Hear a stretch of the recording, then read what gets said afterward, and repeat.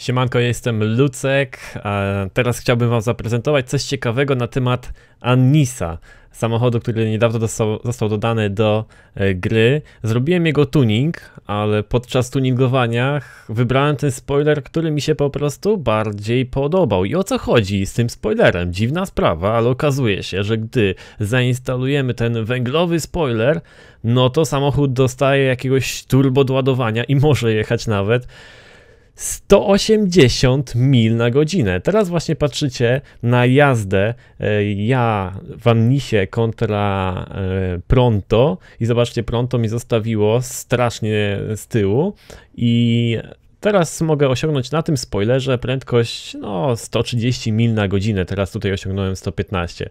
A teraz mam wymieniony spoiler już na ten zbugowany i patrzcie co się dzieje.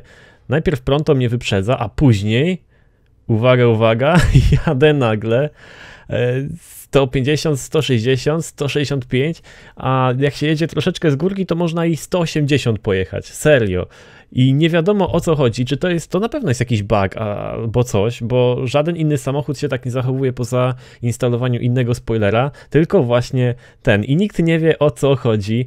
E, auto zajebiście przyspiesza, zachowuje się tak, jakby w pewnym momencie nie miało jednego biegu i od razu wrzucało większy, wyższy i zaczęło nieźle przyspieszać, jakby miało o jeden bieg więcej, czy coś takiego. No zobaczcie jeszcze raz.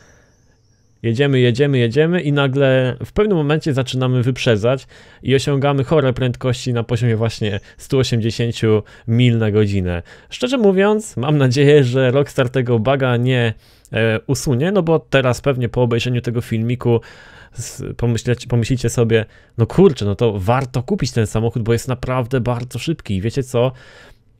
E, po tym takim zainstalowaniu spoilera teraz tego lepszego, okazuje się, że auto także zaczęło jakoś lepiej skręcać, bardziej responsywne zaczęło być i jest prawie że idealne, chociaż no i tak nie trzyma się jakoś tam super drogi, ale jest naprawdę, naprawdę świetny. Także teraz mogę polecić, ale no uważajcie, bo myślę, że w niedługim czasie Rockstar to załata.